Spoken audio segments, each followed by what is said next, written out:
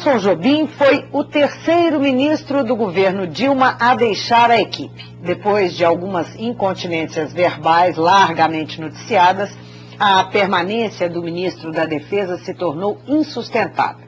Jobim é do PMDB e foi substituído pelo petista Celso Amorim. Conversa comigo o deputado federal Antônio Andrade, que preside o PMDB Mineiro. Bem-vindo, deputado. Muito obrigado. Eu que agradeço essa oportunidade de estar aqui com você, mais uma vez na TV Assembleia. Prazer para nós.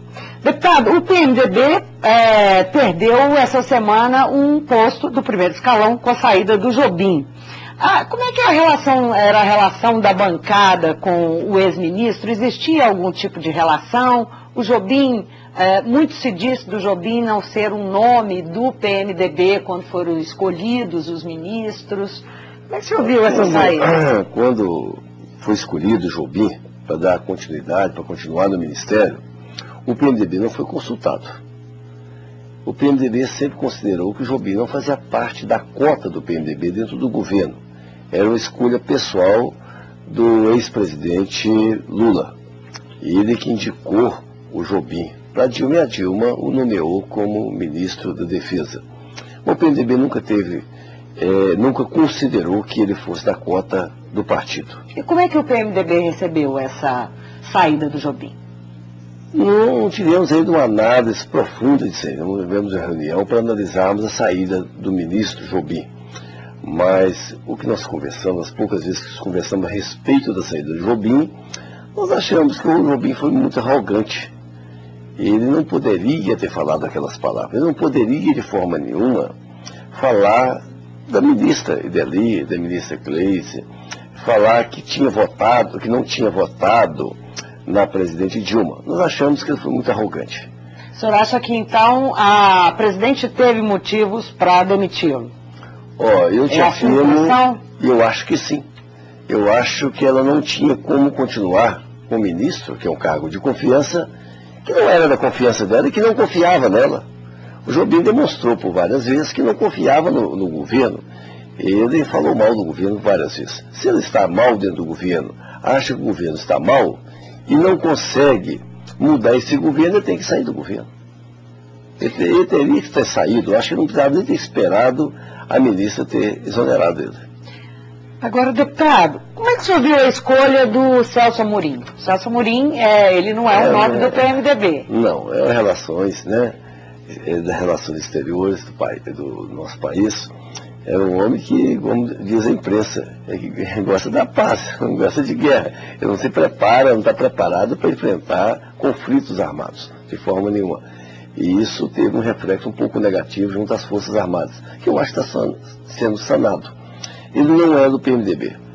É, evidentemente que ele é do PT, então foi nomeado se era na cota pessoal da presidente continua na cota pessoal da presidente. Isso não causa então nenhum constrangimento é, com base nessa. Eu vejo que não. Eu vejo que o PMDB não tem que reivindicar nada em troca é, um outro ministério porque o Jobim saiu. Se consideramos desde o início que o Jobim não era da cota do PMDB, também não temos que reivindicar. Estou dizendo, eu acho que o PMDB, ele está com a cota aquém da capacidade dele. Ele teria que ter mais espaço dentro do, do governo da Dilma. Teria, é, pelo tamanho, pela força, pela capacidade dele de articulação do PMDB, teria que ter uma cota maior. Mas não uma compensação pela saída do Jobim. A questão dos cargos de segundo escalão ainda está na pauta, ainda é, é o foco de cobrança em relação a, a, a, Dilma e. Não tenho dúvida nenhuma. Isso aí eu acho que é um erro do governo. O governo é muito lento nessas nomeações. Já poderia ter feito essas nomeações há muito tempo. Os cargos já passaram pela BIM, já foram aprovados, muitos deles já foram aprovados pela BIM. E eu não tenho por que o governo deixar de fazer essas nomeações. O governo está meio paralisado com essa quantidade de denúncias? Essa é uma questão que vem sendo discutida por alguns analistas. Tá. Tem uma, uma, paralisação dentro do Congresso, decisões a tomar? Eu, a, a, ministra, a presidente, desculpe falar ministra, a gente costuma tanto falar ministra Dilma, né? A presidente Dilma, ela teve a semana passada uma agenda positiva lá com o Patrus, é, dando incentivo maior a indústria brasileira. E eu acho que o governo precisa dessa agenda positiva. O governo tem que passar por cima de denúncias e agir de uma forma positiva. Quando não é o Patrúcio, eu quis dizer Pimentel. Pimentel, desculpa. Pimentel. Desculpa, Pimentel. Que ato Fernando falho, Pimentel. deputado. É ato falho. Ato, ato falho, é o Pimentel. Não, é, o ministro Pimentel fez um ato Ministério da Indústria e Comércio que foi positivo, extremamente positivo para esse momento. E eu acho que dessa forma o governo deve ser mais ágil. O governo deve nomear os cargos todos, passar por cima disso, apurar todas as denúncias, devem ser apuradas, né? exonerar quem tem que ser exonerado, mas não pode ficar parado. Falar em apurar e exonerar, e o caso do eh, as denúncias que envolvem o Ministério da Agricultura. É outro ah, ministro do PMDB, que é o Wagner Rossi, que está respondendo, que está sendo cobrado para responder denúncias em relação ao Ministério da Agricultura.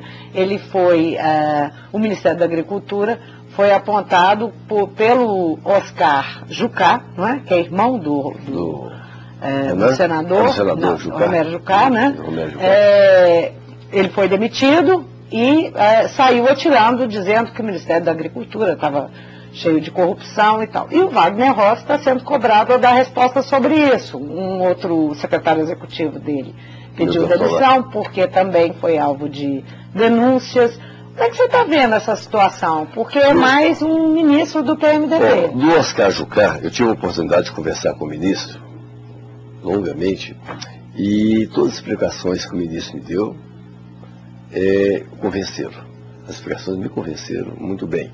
Primeiro, exonerou, o Oscar Jucá tinha 10 dias à frente da, da diretoria financeira da Conab e cometeu um ato falho.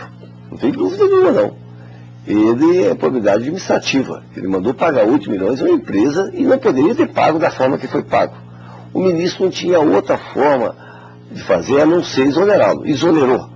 Chamou, conversou, pediu que ele explicasse, ele não conseguiu explicar. No outro dia, fez a exoneração do, do diretor.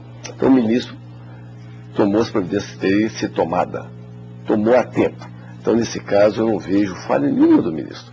Quanto ao Milton Ortolan, que foi chefe de gabinete do ministro, depois passou a ser secretário executivo, ah, se está envolvido, que eu não sei ainda se está envolvido É, são denúncias recentes que saíram na ainda revista Veja, né? que ainda não foram apuradas. apuradas. mas de qualquer forma, o ministro também, apesar de toda a amizade que tem com o Milton, ele afastou o Milton de imediato. Foi afastado também, estão apurando. Eu acho que nenhum desses casos tem nenhum envolvimento do ministro nesses casos. Não tem envolvimento nenhum do ministro. Se não tem O senhor não envolvimento do ministro, ah, o senhor não tem que, que sugere uma ciumeira, porque o PR já está dizendo que a Dilma está tratando, a presidente Dilma está tratando eh, os seus auxiliares e, e- e aliados com dois pesos e duas medidas. Se referindo a, enfim, a demissão, a saída do ministro Alfredo Nascimento, as demissões no DENIT, e que no caso do Ministério da Agricultura ela está dizendo que não tem nada. Eh, tem dois pesos e duas medidas? Não, o PMDB é mais não, importante para o governo do que o PR? Não, de forma nenhuma. A, a presidente Dilma tem tratado todos os partidos políticos da base de uma forma igual, com o mesmo peso, com a mesma medida. Não tem dúvida nenhuma. No caso do PR é um pouco diferente. Havia envolvimento de auxiliares do ministro em corrupção. Não tem dúvida que havia. Ela exonerou, foi exonerado mais do que aqueles que tinham envolvimento.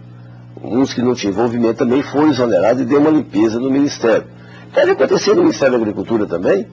Pode acontecer isso no momento, o, o- o- o diretor da Conab, que estava envolvido, foi exonerado pelo ministro sem nenhuma intervenção da presidente. Não foi a pedido da presidente que exonerou o diretor. Assim que ele tomou conhecimento do envolvimento do diretor, ele exonerou. Foi feita a exoneração. E o Milton Ortolan foi, renunciou assim que houve a denúncia, sem apurar ainda, tá? Ele pode até voltar para o Ministério. Ah, é, houve a denúncia, afastou-se o Milton Ortolan, renunciou ao cargo, pediu afastamento do cargo, está sendo apurado. E eu não vejo mais envolvimento de ninguém, não há denúncia contra envolvimento de outro assessor do ministro, nenhuma outra corrupção. É diferente do Ministério da Agricultura. Essa sucessão de. de, de queria voltar com é você nessa questão. Do, é, dos transportes. O da agricultura é diferente dos transportes. Sim. É, é, essa sucessão de denúncias e. É, isso.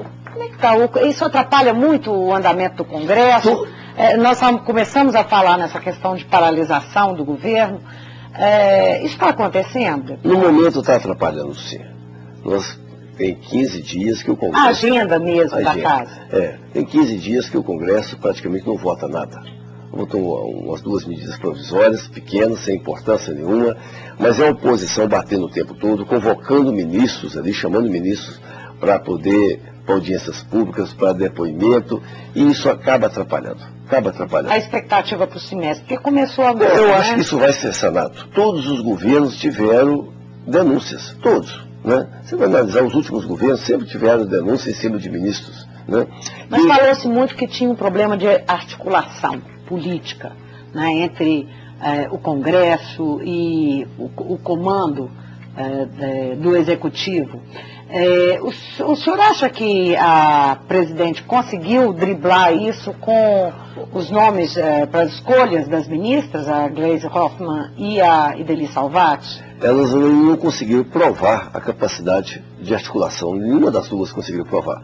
E é bom lembrar que no governo Lula nós tínhamos lá, ocupando essas mesmas cadeiras, bons articuladores.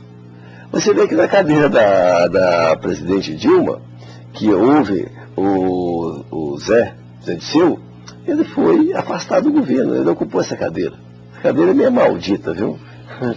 em determinado momento lá houve esse afastamento. Mas nós tínhamos bons articuladores ocupando essa cadeira. Primeiro, a própria presidente. Ela teve lá muito tempo, é, a sua capacidade administrativa muito forte, e, na, e, e, lá na articulação política, nós tivemos boas pessoas fazendo essa, essa articulação política. O próprio Malfrido, vários guias. Uhum. Mas falta, por exemplo, a, a, o fato da presidente, ela, apesar dela ter sentado na cadeira é, da Casa Civil, ela Uh, não fez uh, esse, esse, papel não. de articulação, não. né? Ela Isso... fazia o controle dos ministros, ela uhum. trabalhava mais na parte administrativa, tocava o governo como todo. Muito né? se diz que ela teria que botar a mão na massa e começar a ter um contato maior com as bancadas e tal. O senhor acha que falta isso? Ela andou recebendo as bancadas, né? Recentemente fez uma rodada, é, as bancadas aliadas.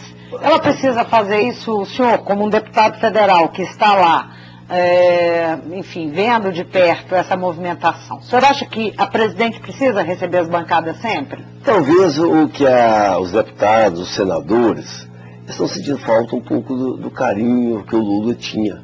O Lula tinha uma capacidade muito grande de conversar com todo mundo, de, de prever, antecipar os acontecimentos. E que a coisa ia acontecer, o Lula chamava, conversava, e conversava de, abertamente com todo mundo, articulava com todos os partidos da sua base, né? muito habilidoso. Talvez ela não tenha ainda, nesse início de governo, essa habilidade. Mas o Lula teve muita dificuldade no início do seu governo, não sei se você lembra, com mensalão, né?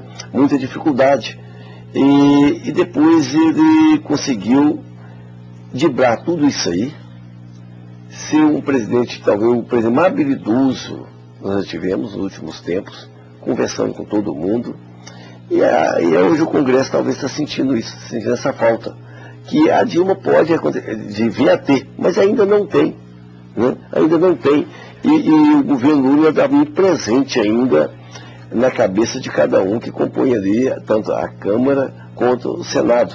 Dos próprios ministros também, a habilidade dos ministros, de conversar com o Lula. O Lula chamava para conversar. A Dilma tem um outro estilo. Então, até consolidar esse estilo dela, esse estilo ser colocado, todos aceitarem esse estilo, a coisa pode complicar um pouquinho. Mas ela vai resolver isso, viu? Falar um pouquinho de Minas Gerais? Vamos. PMDB aqui. Em Minas, as, aqui no estado, as divergências entre os PMDBistas ficaram bastante evidentes com o episódio é, da representação contra o deputado federal e ex-governador Newton Cardoso a, ele, a, a expulsão do Newton Cardoso está sendo examinada pela comissão de ética do partido. É, é uma possibilidade concreta a expulsão? Olha, nós não gostaríamos, não gostaria de ter nenhum companheiro nosso no, no Conselho de Ética, sendo analisado pela Comissão de Ética, né?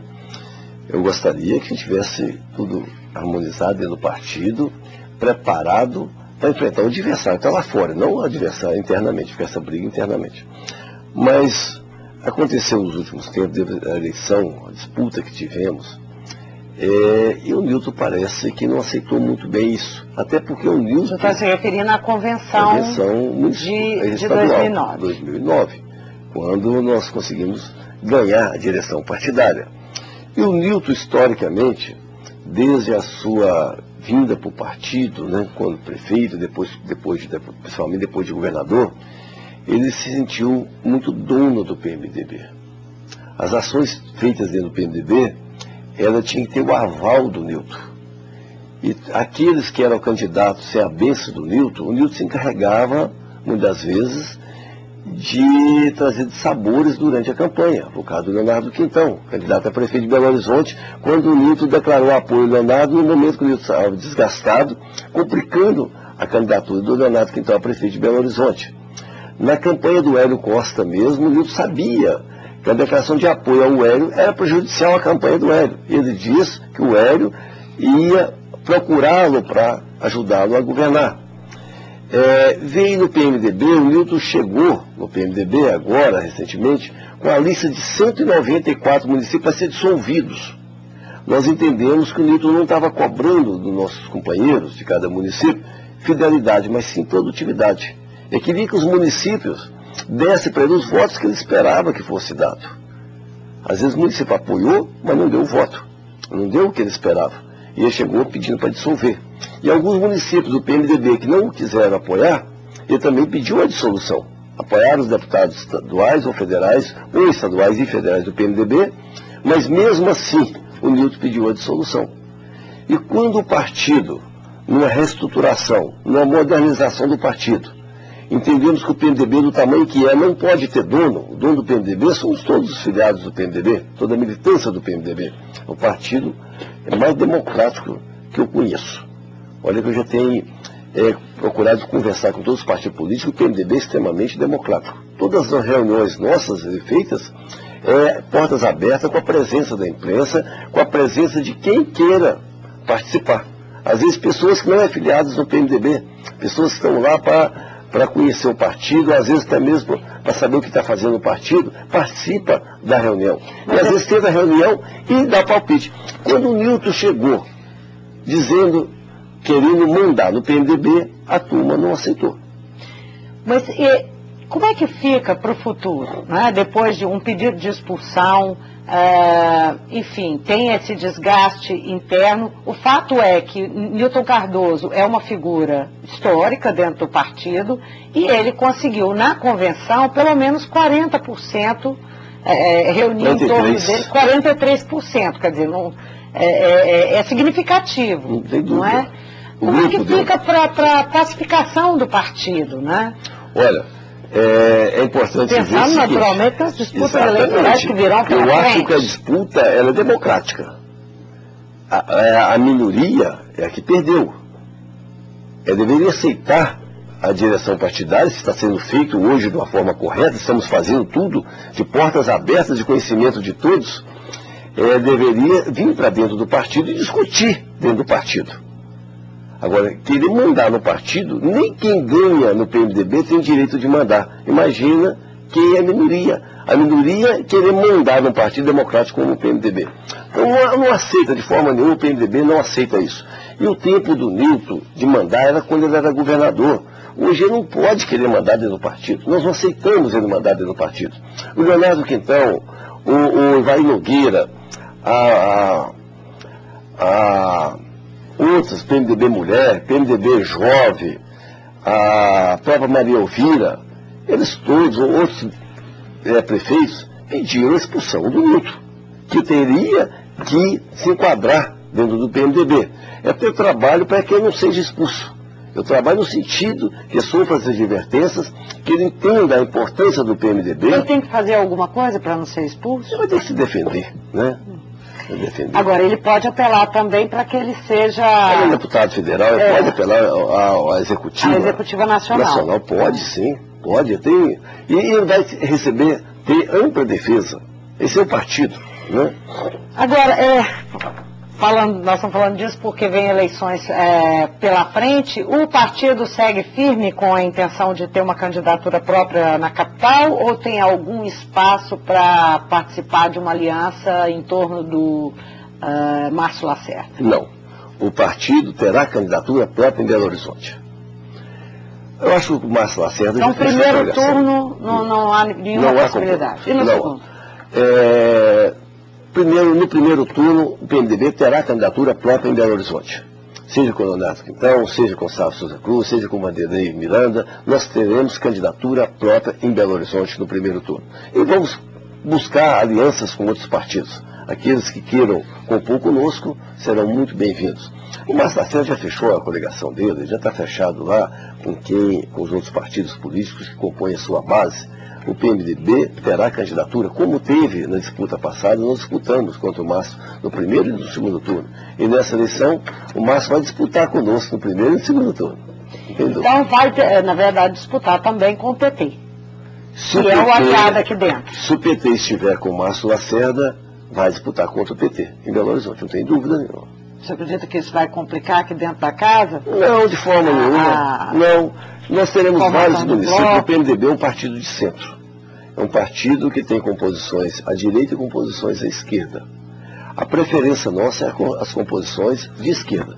A preferência nossa é as composições com PT, com PCdoB, com PRB, né, com os partidos de centro-esquerda, de esquerda. É, mas não vamos é, criar nenhum empecilho às composições de direita. Se o PMDB em determinada cidade tiver composto com PT, que componha com PT. Se em outra cidade tiver com PSDB, que seja com PSDB, ou seja com Democratas, ou seja com PCdoB. Nós vamos ter as mais variadas composições. A preferência nossa é essa, de compor com o PT. Aqui em Belo Horizonte, se o PT estiver com o Márcio Lacerda, nós vamos disputar. E vamos ganhar deles. Deputado, Obrigada, mas antes tem que pacificar, né, o partido. O partido está pacificado. Todos os partidos têm suas disputas internas. Se você analisar o PT, tem disputas internas, o PSDB tem, o Democrata, nem se fala, tem. E nós temos as divergências nossas. Só que o partido, como é muito democrático... Mas traz prejuízo na hora da eleição, né, deputado? Se você quiser, na segunda-feira, dia 22, você entra no partido e assiste e dá notícia da, eh, da, das nossas reuniões. Coisas que às vezes não acontecem em outros partidos coisa que outros partidos nem diretório tem. Portanto, não tem divergência, porque tem uns dois ou três que mandam no partido. No meu caso, o PMDB. Deputado, obrigado pela presença aqui no Mundo Político. Eu que agradeço muito essa oportunidade. Muito obrigado. Eu conversei com o deputado federal, Antônio Andrade, ele é presidente do PMDB de Minas. Nós discutimos um pouco sobre a participação, sobre uh, os uh, ministros, o ministro Jobim, que acaba de sair, que é do PMDB, sair do governo Dilma, é, as questões lá, as, as, acusações que o Wagner Rossi, o ministro da Agricultura, está respondendo. Conversamos também um pouquinho sobre é, o PMDB de Minas e as divergências internas em torno da expulsão do ex-governador Newton Cardoso. O Mundo Político fica por aqui. Obrigada por nos acompanhar aí de casa e até o próximo programa.